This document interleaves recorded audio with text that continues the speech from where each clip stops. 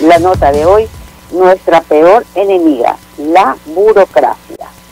En Ecuador tenemos aproximadamente unos 492.615 servidores públicos.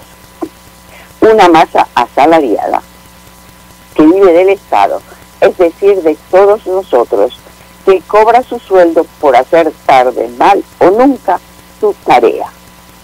Evidentemente que no son todos, pero sí son muchos, los suficientes como para dejarnos en lo que somos y estamos.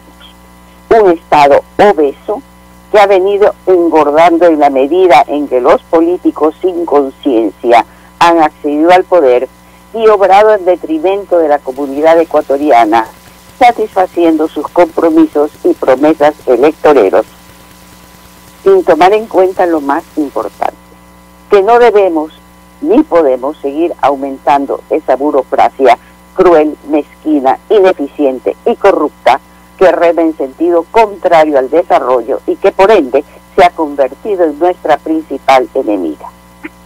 Se ha creado tal cantidad de puestos innecesarios en los distintos estamentos, llámense ministerios, organismos regionales, seccionales e instituciones públicas en general, inclusive con nombres tan rimbombantes que el ciudadano común no puede repetir, ni los entiende, y que al final resultan ser como aquellos parásitos que se pegan al cuerpo humano chupándole toda la sangre que pueden hasta dejarlo exhausto o simplemente muerto.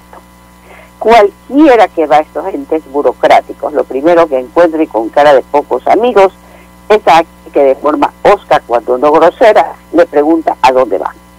Pasa esta barrera el funcionario que busca para que le informe sobre su asunto o problema o le dé luces sobre lo que tiene que hacer o no hacer, no está. O salió a almorzar, o está ocupado, después de larga espera le dicen que regrese porque no lo puede atender. Y este vaivén puede repetirse durante mucho tiempo que el ciudadano desiste de presentar su queja o reclamo o del trámite o se muere en el intento. Es como revivir el cuento del coronel no tiene quien escriba de García Márquez. Pero eso no es lo peor.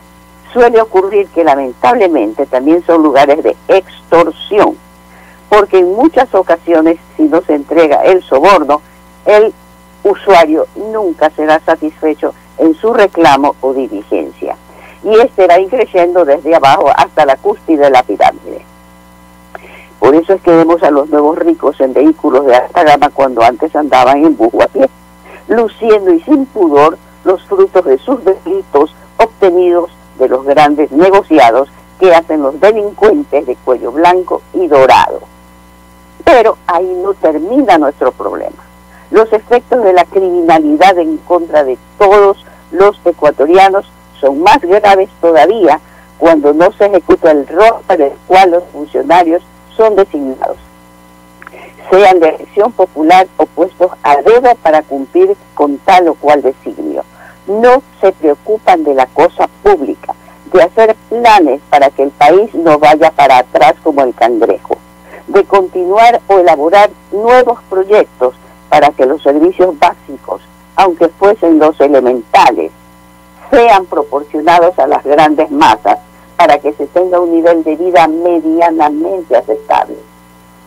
No, el aparato burocrático poco o nada nos sirve. Por eso decimos que la burocracia es el peor de nuestros enemigos. Muchas gracias.